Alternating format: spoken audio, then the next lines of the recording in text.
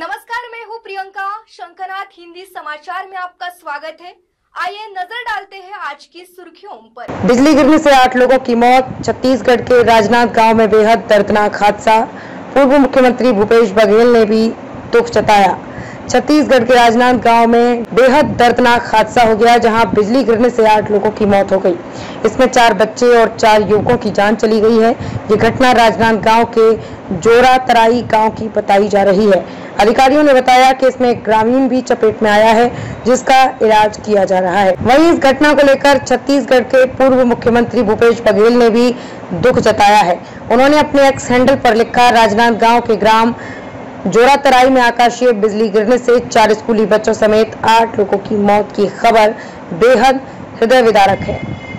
Police अधिकारियों ने बताया कि ज़िले के सोमनी थाना क्षेत्र के अंतर्गत जोरा तराई गाँव में सोमवार करीब डेढ़ बजे आकाशीय बिजली गिरने से कुछ स्कूली बच्चों समेत आठ लोगों की मौत हो गई और एक अन्य व्यक्ति घायल हो गया। वहीं राजनांदगांव ज़िले के पुलिस अधीक्षक मोहित गर्ग ने कहा कि प्रारंभिक जानकारी के अनुसार बिजली गिरने से कुछ स्कूली बच्चों समेत आठ लोगों की मौत हो गई। इसके अलावा एक व्यक्ति के घायल होने की खबर है, जिसे अस्पताल में भर्ती कराया गया है। उन्होंने बताया कि इस घटना की सूचना मिलते ही वरिष्ठ प्रशासनिक और पुलिस अधिकारी मौके पर पहुँच गए। पुलिस अधीक्षक के मुताबिक वो और राजनांद गाँव के जिलाधिकारी भी घटनास्थल के लिए रवाना हो गए हैं। उन्होंने बताया कि घटना के संबंध में विस्तृत जानकारी की प्रतीक्षा की जा रही है।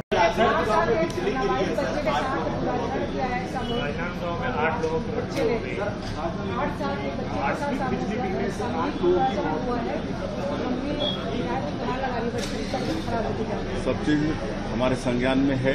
और त्वरित उसमें सरकार कार्रवाई कर रही है। राजनांदगांव में जो आकाश से बिजली से जो डेथ हुआ है उसमें स्कूली बच्चे भी हैं। तो तत्काल वहाँ पर हमारे अधिकारी कलेक्टर वगैरह भी पहुँचे हैं और जो भी त्वरित उनको मतलब सहयोग राशि वगैरह देना होता है वो सब कर रहे हैं। आज के हिंदी समाचार में बस इतना ही। फिर मिलेंगे देश भर में घटित अहम खबरों के साथ।